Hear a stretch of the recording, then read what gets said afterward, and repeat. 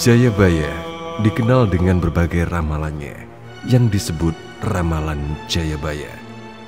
Uniknya, sebagian besar dari ramalannya ini memang terbukti akurat dan benar terjadi di kemudian hari.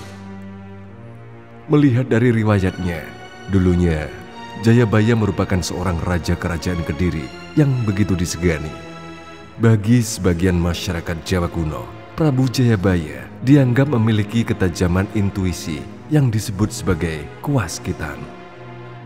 Salah satu ramalan Jayabaya yang cukup terkenal adalah akan datangnya Satrio Piningit.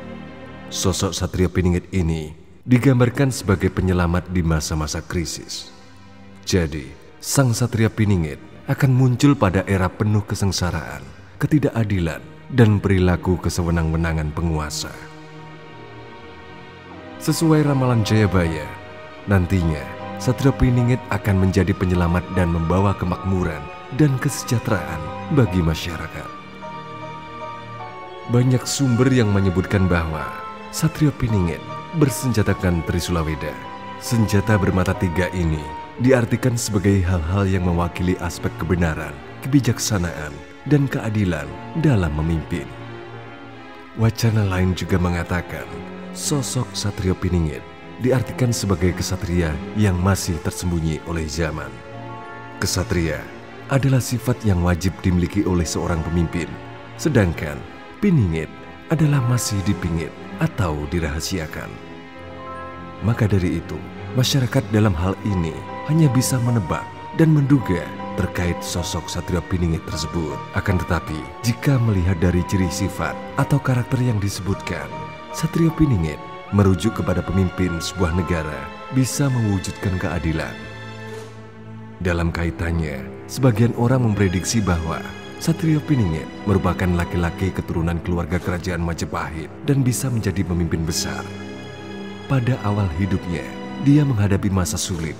Namun, dengan ketabahan dan ketulusan hatinya, dia bisa melewatinya.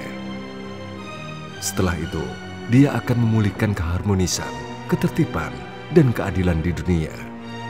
Bagi sebagian orang Jawa, mereka mempercayai ini sebagai perputaran roda kehidupan, bahwa setelah era kegelapan pasti akan diikuti zaman kemakmuran dan kesejahteraan, dan siklus ini akan terus bergulir sepanjang waktu.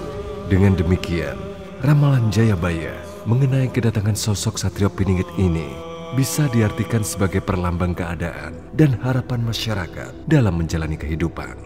Masa-masa kelam yang terjadi dan dirasakan memunculkan harapan akan segera datangnya sosok penyelamat, pemimpin yang berjiwa kesatria dan adil. Dan nantinya dia akan memulihkan keadaan dan membawa negeri menjadi makmur dan rakyatnya sejahtera semuanya. Bagaimana menurut Anda? Mungkin Anda pendapat lainnya. Beritahu saya dalam kolom komentar.